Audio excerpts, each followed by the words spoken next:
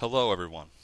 I'm here today to concern episode 3 of the documentary I am making for Adventure Time about the Mushroom War. Now, as you may know, I've been working on it for quite some time now, and sadly, I'm going to have to delay it a little more, but for good reason. A new Adventure Time episode, Evergreen, will be appearing September of 2014.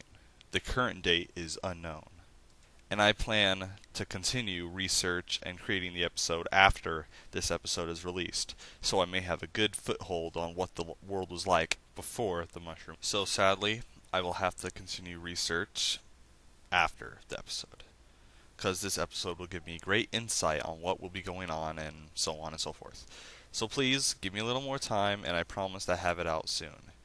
I'm trying to make this a 20 minute episode right here, so to make it a little more interesting and a little more diverse. And you know, I know what it's like when you want a really long episode and all that.